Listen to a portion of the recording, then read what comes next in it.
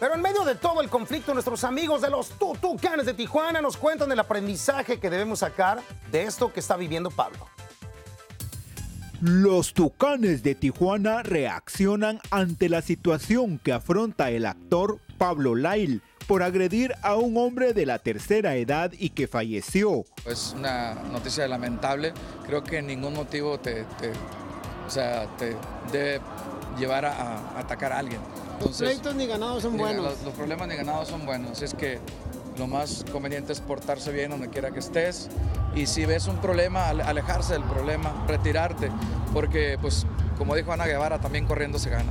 El cantante afirma que esto debe de servir de ejemplo para evitar consecuencias por no saber controlar el temperamento.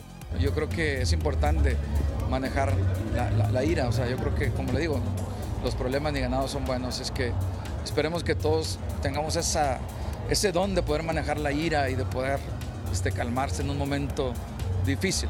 Para En Vivo, Carlos García.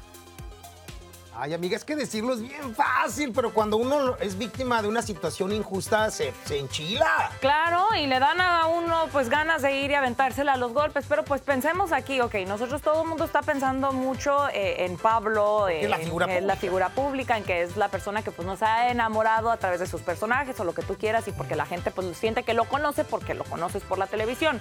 Pero también pensemos que está una familia de luto. Por supuesto, y el señor pues ya mayor, la familia Hernández. Que ha dejado pues hijos, que, tiene, veto a saber si nietos o este, entonces pues tiene una familia que, ha sufrido una pérdida por, un arrancón de, esto, de ira. Entonces espero que pues de todo lo malo salga algo bueno y que realmente nosotros ya no la pensemos dos veces antes de hacer cualquier cosa, amigo. ¿eh?